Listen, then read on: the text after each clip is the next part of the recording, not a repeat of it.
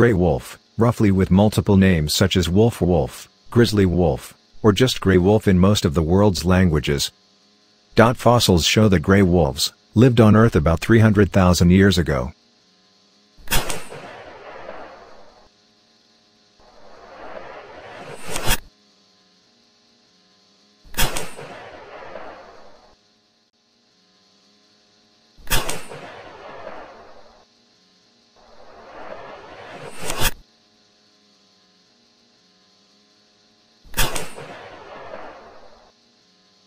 That is, at the end of the Pleistocene, and thus it is considered one of the survivors of the mass extinction event that occurred in the late last ice age.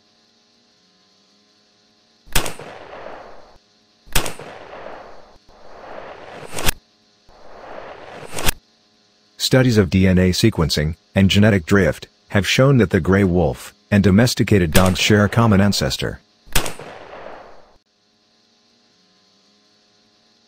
Although the credibility of some aspects of this scientific conclusion has been questioned, the majority of the available evidence confirms the validity of what has been reached.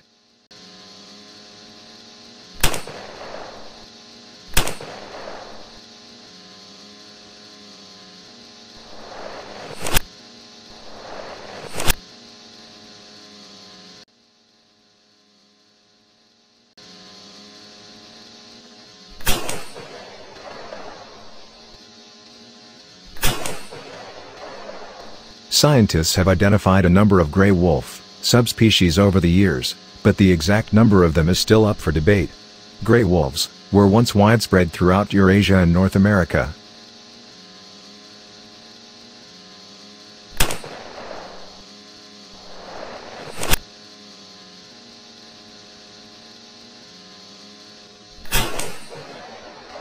Today, it inhabits a small part of its former homeland, due to the destruction of its inhabited sites in the first place.